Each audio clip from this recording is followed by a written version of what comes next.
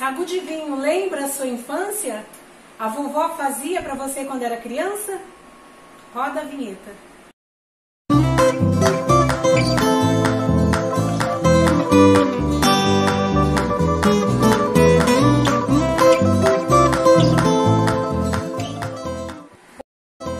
Olá, galera. Tudo bem com vocês? Comigo está tudo bem. Hoje eu vim aqui para fazer uma receitinha e eu gostaria de compartilhar essa receitinha com vocês, que é sagu de vinho. Vocês já ouviram falar? Eu creio que sim.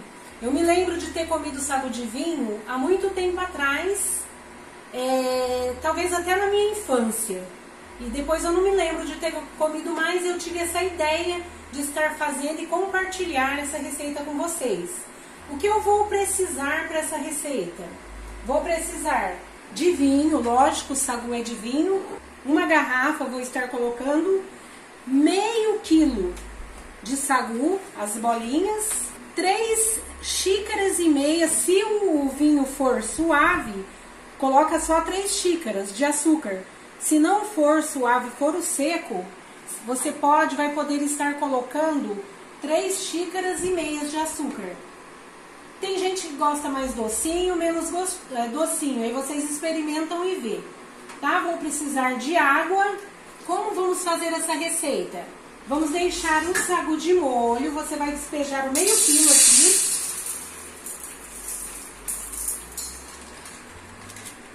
Vai cobrir com a água.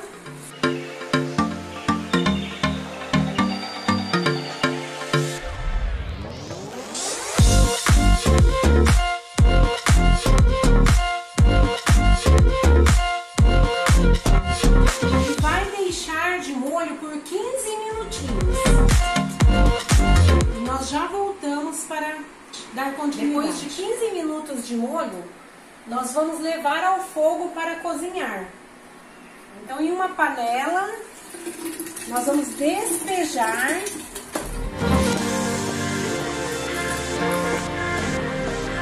as bolinhas e vamos levar ao fogo para cozinhar.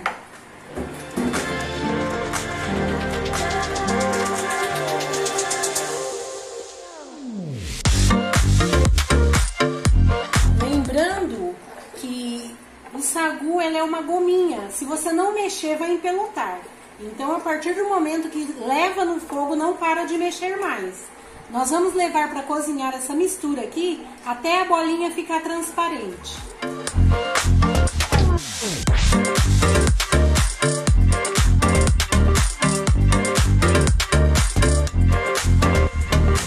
Olha que já está engrossando, as bolinhas estão cozinhando. Só que ainda não ficou transparente. Depois eu vou mostrar um segredinho para vocês como é que vai ser feito.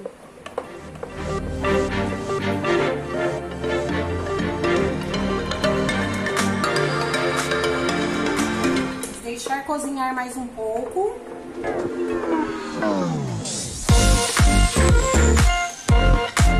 Depois eu vou estar indo para o passo seguinte.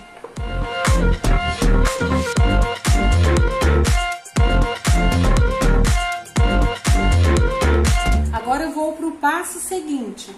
Eu vou desligar o fogo e vou colocar a panela aqui, que eu já vou mostrar como que eu vou fazer.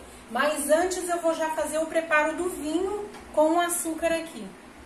Vou estar colocando o vinho, vou colocar a misturinha agora fazer a misturinha do vinho.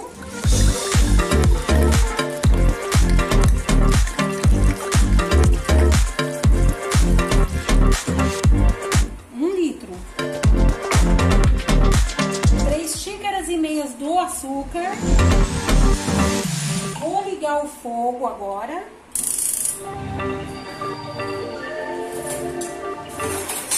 Vou dissolver esse açúcar.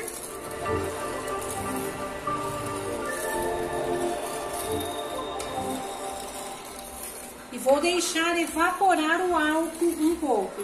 A hora que abrir fervura, ele já começa, antes de misturar mais 2 litros de água.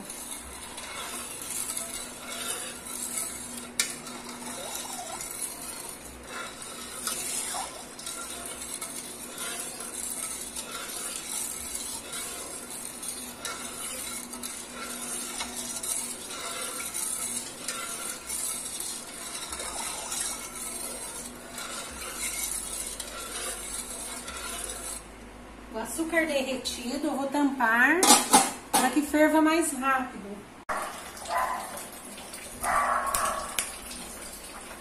O segredinho que eu ia contar para vocês é esse aqui. Eu vou colocar em escorredor aquela mistura cozida já do sagu, das bolinhas de sagu, e vou estar lavando novamente, olha. Vou estar lavando com água, tirando aquela goma, o excesso da goma. Não vou tirar toda ela. Vou tirar somente o excesso. Vou estar separando aqui numa vasilha.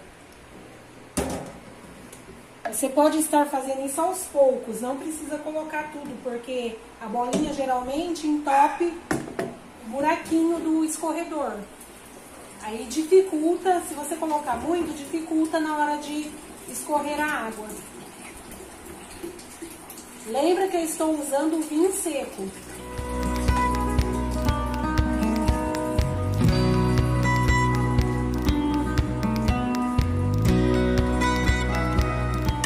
mexendo, ó.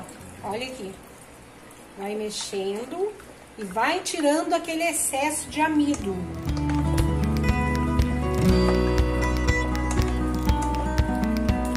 Bolinhas vão ficar soltinhas.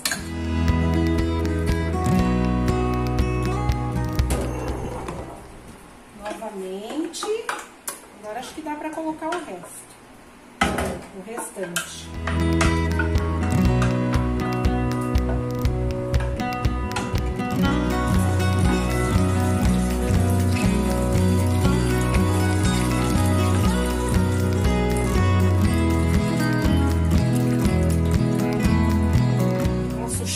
Ali já está subindo, está fervendo ali o vinho e o cheiro já está subindo.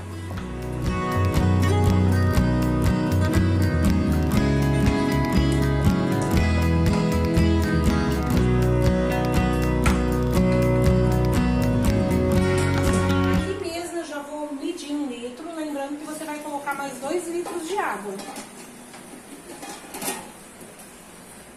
Começou a abrir a fervura aqui, eu já vou despejando a água.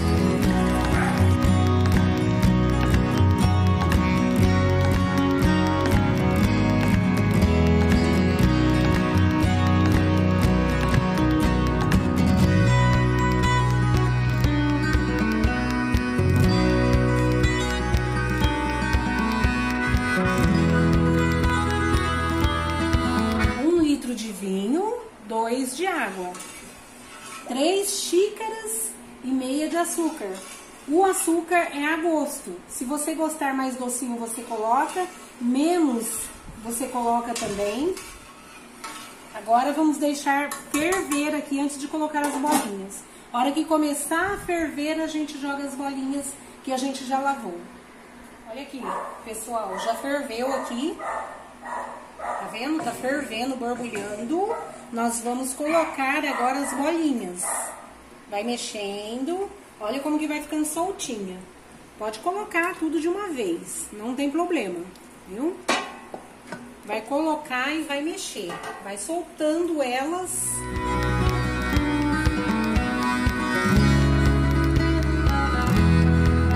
Agora aqui elas vão acabar de cozinhar e ficar bem transparente.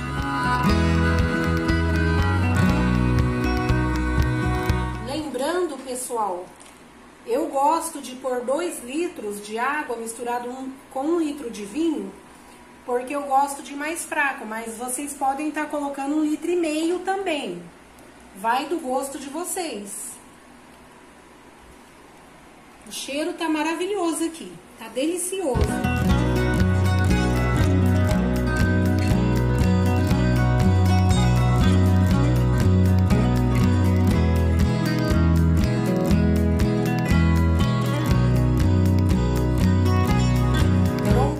Finalizado o nosso sagu de vinho. Vou desligar o fogo agora. Aquele segredinho que eu ensinei para vocês, de dar uma pré-cozida nele e lavar, tirar um pouco da goma, é porque muitas pessoas já reclamou que faz o sagu e quando coloca para gelar, o sagu vira uma cola, dá até para desenformar. Você fazendo dessa forma, olha a consistência que ele vai ficar. Quando você colocar na geladeira para gelar, ele não vai endurecer tanto.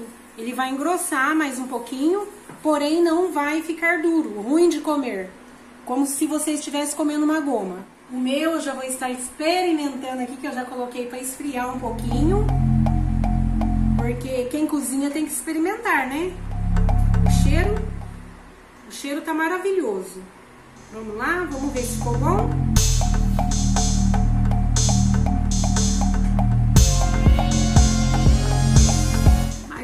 Mais um pouquinho.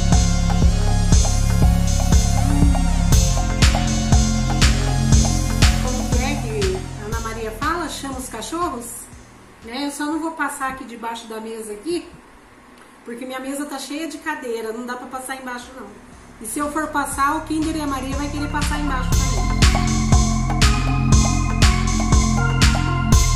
Muito, muito bom. Lembra muito a infância da gente. Eu vou dar pro meu cameraman experimentar.